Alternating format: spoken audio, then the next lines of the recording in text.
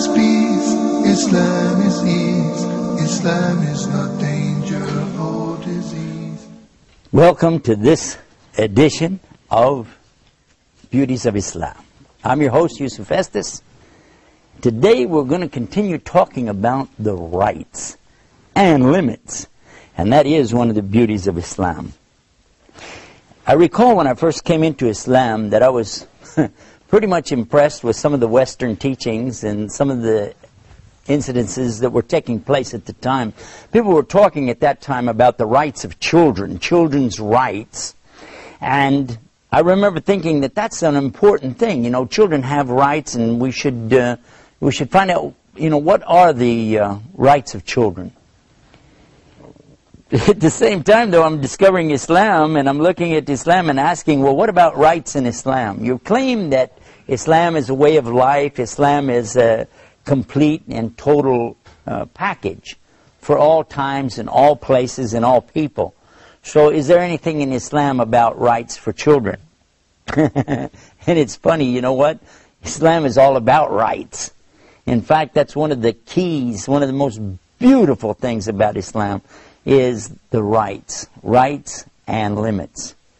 That we don't go past somebody's rights. Because, for instance, we give rights to the children. You could say, well, children have all rights, total rights. Now, all of a sudden, the children are telling the parents what to do. Uh, that's not a good idea. And it was Prophet Muhammad, peace be upon him, that said that this, one of the signs of the last days is going to be that the children will actually be superior to their own parents, treating their parents like slaves. This means they would be going beyond their rights, doesn't it? And that's exactly what we've discovered, you know, that today, by going out here and talking about children's rights and promoting children's rights without putting a check and balance in place, it seems as though there's no way to stop the children today. When my mother, who was a school teacher for many years, came home from school one night and she said, I'm going to stop teaching. We asked her why. She said, the teachers have lost their rights. It's all about the students' rights, but the teachers have no rights anymore. I didn't quite understand what she was saying. It didn't, the gravity of the whole thing didn't catch me until, until I realized that this is exactly the downfall of a society when you give all rights to one group but you infringe on the rights of another group. Now, when I grew up many years ago, the teacher had the right to paddle the child if they got out of line. They had a little, like a ping pong paddle or something like that, and they would paddle you with that if you misbehaved. But then they passed a law and said no more, no teachers can use this paddle anymore. Well, then what happens? Well, some of the teachers, they would try to swat the child with their hand. Well, they made a law against that as well. They said, no, you can't do that. That's not going to work. So now the, the teacher has no way to say anything over the student. They can't stop them. In fact, it got to the point where the students would challenge the teachers and say bad things in the face of the teacher and say, what are you going to do about it? Well, what could the teacher do? What can they say? Because here you are, you know, you're trying to teach a class and you've got students that will just stand up and say anything, do anything, and what can you do? It got to the point where some of the students were actually striking the teachers. Now that became a serious problem. And of course, then the students began striking each other, hitting one another. And now, who can stop them? Because if you put your hand on the child, maybe you grab them too tight, you leave a mark on them or something, they can go to the authorities and you can go to jail. you started out in the morning as a teacher, you wind up at night as a jailbird. Because why? Because you don't have any longer the right to discipline the children. Now, according to the Bible, and that was one of the things that I was very impressed with, of course, in those days as a preacher in Christianity, we find a teaching that's very clear if you spare the rod, you'll spoil the child. And I always derived the meaning out of that, that it meant that you have to use the rod at least to let the child see that you're in authority here, you know. Then the child will behave. Otherwise, they don't see any reason to follow the rules because there's not going to be any punishment if I don't, so who'll stop me? Spoil the rod, uh, spare the rod, spoil the child. That's what it says. Spare the rod, spoil the child. But when I got to Islam, I said, well, what does that teach? They said, well, in Islam, you're not allowed to pick up a stick and beat children. That's not permissible anyway. So we don't have that. But we do have the thing where we teach the children from early on the proper respect for authority. And this is instilled on the child from the time that they're able to move around, that time they're able to start thinking, they learn what they can do and what they mustn't do. This is pretty normal amongst most homes. You know, you see the mother, she'll say, no, no, no, no, don't do this, don't do that. That's normal, and it's good. Of course, in an Arabic home, they will be saying, la, la, la, la, la, la. It's the same meaning. Don't do it. But as they get older and they begin to talk, speak, think, and converse with their parents, that's when the importance of teaching rights and limits really comes into play. Because it is right for the child to have a time to play with their toys. And it's also right that they should share their toys. But there has to be a limit. And the limit is going to be that the child cannot go and take from the other children without their permission.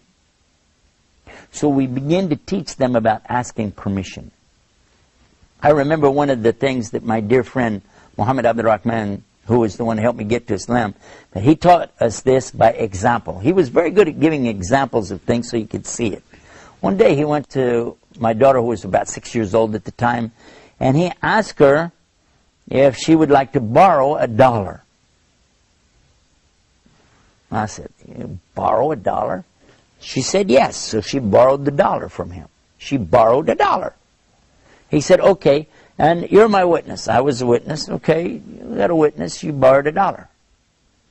A couple of days later, he asked her, do you have a dollar? She said she had four quarters. He said, okay. Can you pay me back the dollar you owe me? She said, okay, and she gave him back the four quarters. After she went on to play, I asked him, what was that all about? He said, didn't you get it? I said, no, I don't think I understand what's going on. He said, okay. I was teaching her that if you borrow something, you must pay it back. But you don't pay it back with anything extra.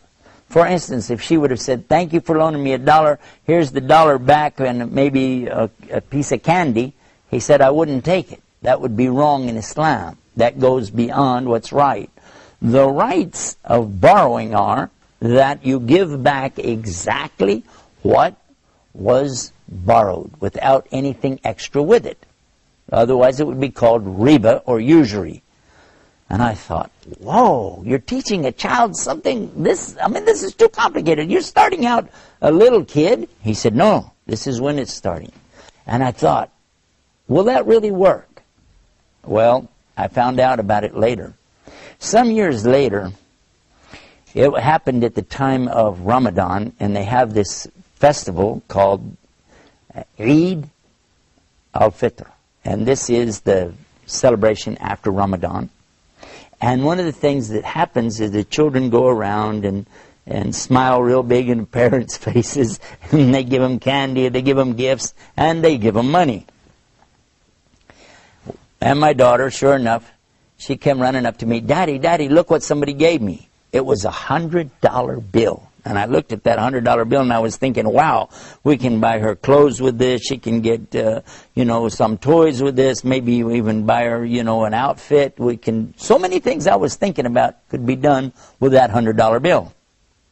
But she went over to the masjid, the mosque it's called masjid, to a box that was there for donations and she put the whole hundred dollar bill in that box. I said, what? What'd you just do? She said, I put it in there. I said, why? She said, I always wanted to have a hundred dollars to put it in the masjid box because so many times people talked about things that we need, things that the masjid needs, things the school needs. She said, and I knew I didn't have any money, but I knew if I ever got a hundred dollars, I would put it in there, and I just got to do it. Isn't that good? And I thought about it. I said, look at this. This child has understood something better than I did. Whereas I was thinking we could get her some clothes, we could get her some toys, candy, gum, things like that with the money. And look at what? She's understanding value, a value that's a higher level of value, not just dollars and cents. So what we're learning from this, this kind of rights is that there is something with limits too. You don't just think about what I get for me. You don't just think about, oh, how is this going to benefit my circumstance right now? But you think about how it will benefit others. And by the way, all the time you're doing that, Allah is for sure going to be uh, recording and making sure that you get full reward here and in the day of judgment. So this is something really big for us. This kind of rights that we're talking about really, we could talk about this for a very long time. There's a lot of depth behind it. But what I'd encourage you to do is to study this, sit with your teachers of Islam, and read the Quran and read some of the stories from the books, like this is Sahih Bukhari. These are some of the teachings of the Prophet Muhammad, peace be upon him. And we find a lot of things in there that, that will really help us to understand about rights, rights and limits. And I'll give you an example of just one of the things that, that impressed me an awful lot about this was the rights and limits is spelled out in one of the chapters of the Quran. Now, in another program, we're talking about this same subject in a bigger detail, but I'll just refer to it for you so that you can look it up. Chapter 49 in the Quran, it's called Surat al-Hujurat. Surat al-Hujurat. And when you go to this chapter 49 in the Quran, you're going to be surprised to discover how it's telling you the proper dealings with men and women both. What a man should do, what a woman should do, what women together should do as groups, what you shouldn't do, how to behave, how is your behavior, and the akhlaq is what they call it. This is akhlaq, the behavior. And all of these things are dealing with the rights and limits, rights and limits of a human being.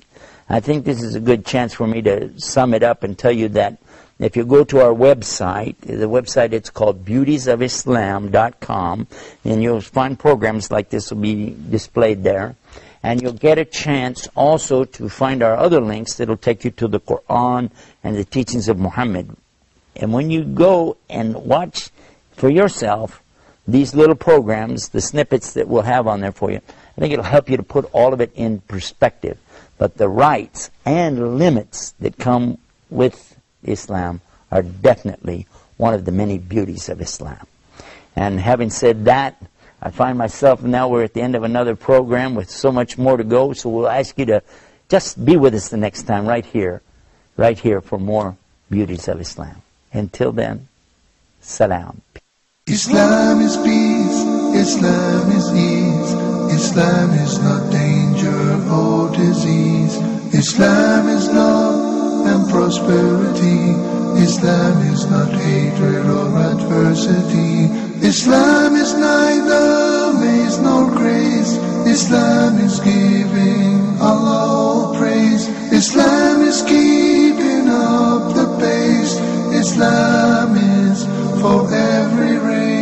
Islam is peace. Islam is ease. Islam is not danger or disease. Islam is love and prosperity. Islam is not hatred or adversity. Islam is neither maze nor grace. Islam is giving